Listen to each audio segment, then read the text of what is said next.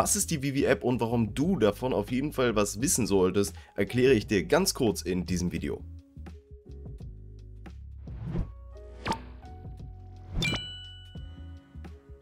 Im Jahre 2018 wurde die Firma Vivi von David Yu und Dan Cruthers ins Leben gerufen. Das Ziel dahinter? Eine App von Sammlern für Sammler, wo digitale Premium lizenzierte Collectibles oder auch Comics verkauft werden sollen. Das Ganze natürlich nicht nur für einen Nischenmarkt, sondern für den gesamten Weltmarkt. Durch den digitalen Handel können nicht nur Zölle beispielsweise vermieden werden, die beim Versand von physischen Collectibles anfallen, sondern auch die Möglichkeit, seine Collectibles überall und immer mit sich tragen zu können. Kommen wir kurz zu den beiden Gründern selbst. David Yu ist seit Jahrzehnten ein Sammler der wirklich abnormalen Art, denn er hat mit unter anderem mit einer der besten, teuersten und auch beliebtesten Comics weltweit. Er hat insgesamt mehrere Warenhäuser voll mit Collectibles, die unterschiedlich teuer sind. Es sind aber unter diesen Collectibles auch viele, viele seltene und auch einzigartige Collectibles mit dabei. Dan Crothers ist auf der IT für Vivi und auch Ecomi, ein weiteres Projekt, was sie haben, auf der technischen Seite zuständig. Er ist außerdem auch seit Jahren ein Sammler und dementsprechend kann man wirklich sagen, diese App kommt von Sammlern für Sammler.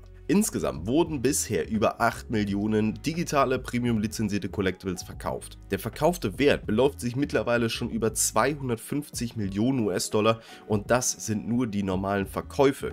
Denn bei jedem Verkauf von einem Collectible im Secondary Marketplace fallen Gebühren an. Davon nehmen sich häufig die Lizenzgeber 6% und wie wie immer einen Standardprozentsatz von 2,5%. Das heißt, der Umsatz, den sie eigentlich wirklich generieren, wird sich sehr wahrscheinlich über eine halbe Milliarde US-Dollar befinden. Und dementsprechend kann man sagen, dass dieses Unternehmen auch mit diesen Brands, die ich euch gleich zeigen werde, definitiv mehr als erfolgreich ist. Denn sie haben über 300 Lizenzen und davon sind auch einige wahrscheinlich dir bekannt, wie zum Beispiel Disney, Marvel, Star Wars, Wars, Pixar und alle möglichen weiteren Subbrands unter Disney. Weitere Brands, die sie auch noch haben, sind Ubisoft, Lamborghini, Universal, DreamWorks, Ultraman, Jurassic Park, Star Trek und ich könnte wahrscheinlich noch 10 Minuten so weitermachen. Denn insgesamt, wie schon erwähnt, sind es über 300 Lizenzen. Ich blende euch an dieser Stelle mal ein kurzes Bild ein. Das ist ein älteres Dokument, wo gezeigt wird, welche Lizenzen sie damals schon an Bord hatten. Nicht alle haben bis jetzt ein Collectible released, aber die Verträge stehen weiterhin und dementsprechend ist es nur noch eine Frage der Zeit, bis wir die ein oder andere Lizenz hier auch auf der Vivi-App sehen werden. Und wenn dich interessiert, was für Brands denn eigentlich schon auf der Vivi-App sind, dann melde dich an und schau unter dem Punkt Brands nach, denn hier findest du alle möglichen Brands, die schon bereits auf der Vivi-App gelauncht sind und darunter findet sich zum Beispiel auch Coca-Cola, die ich jetzt eben nicht erwähnt habe. Es sind sehr, sehr viel mehr. DC Comics haben wir hier beispielsweise auch dabei, aber zum Beispiel auch Voltron von DreamWorks, unter anderem zum Beispiel hier auch Funko. Du siehst schon, es befinden sich auf jeden Fall einige sehr namenhafte Brands auf dieser Plattform und sie würden definitiv keine Kooperation mit Vivi eingehen, wenn dieses gesamte System dahinter nicht wirklich stabil sein würde. Konnte ich dich bisher für dieses Projekt begeistern, dann kann ich dir auf jeden Fall empfehlen, diesen Kanal hier zu abonnieren. Ich mache wöchentlich Update-Videos zu den wichtigsten Punkten, kurz und knapp gehalten zum Thema Vivi mit allen Drop-Informationen und vielen weiteren News. Das heißt, abonniere sehr gerne meinen Kanal, wenn dich das Ganze interessieren sollte.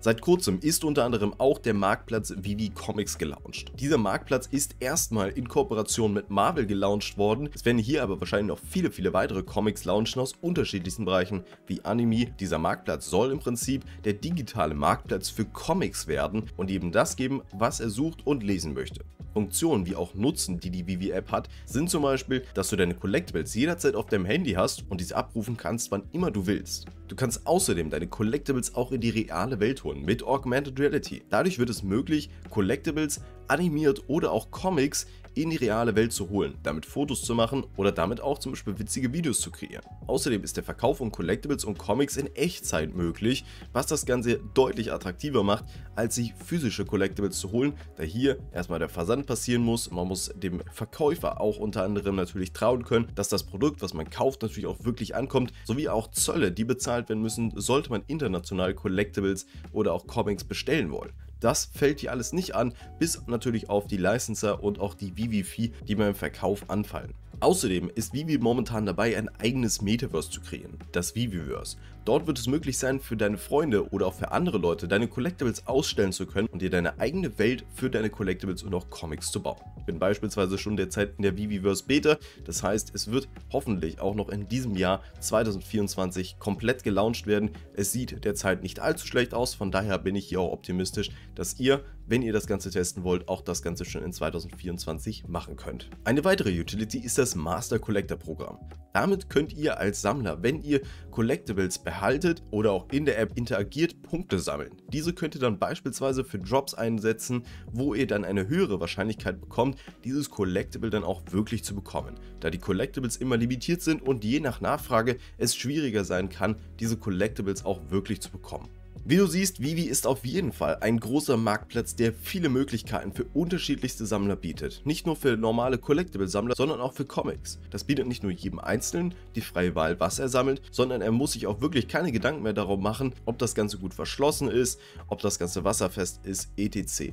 All diese Punkte fallen durch die Digitalisierung dieser Collectibles oder auch Comics komplett weg. Und derzeit bereitet sich auch Vivi auf den kommenden NFT Bullrun vor. Zum Beispiel mit dem letzten Schritt, den sie gemacht haben, mit einer der besten Boxer weltweit, Joseph Parker, zu sponsoren. Ein weiterer Move ist zum Beispiel jetzt der Launch von Vivi Comics, der den Comicmarkt wahrscheinlich für immer revolutionieren wird. Und viele weitere werden wahrscheinlich auch noch in diesem Jahr folgen, die das gesamte Projekt nochmal auf ein ganz neues Level heben werden. Das heißt, wenn dich das Ganze interessiert, dann abonniere auf jeden Fall sehr gerne meinen Kanal. Und ich hoffe, ich konnte dir in diesem ganz kurzen Video erklären, was Vivi ist, was für Nutzen dahinter steht und warum du dir das auf jeden Fall mal ganz genau anschauen solltest. Und das war es an dieser Stelle auch schon mit dem gesamten Video. Hat dir das gesamte Video gefallen, würde ich mich auf jeden Fall riesig über einen Daumen nach oben von dir hier unter diesem Video freuen. Und ansonsten bedanke ich mich fürs Zusehen und wünsche dir da draußen noch einen wunderschönen Morgen, Mittag oder Abend. Und bis dahin, dein Captain. Ciao, ciao.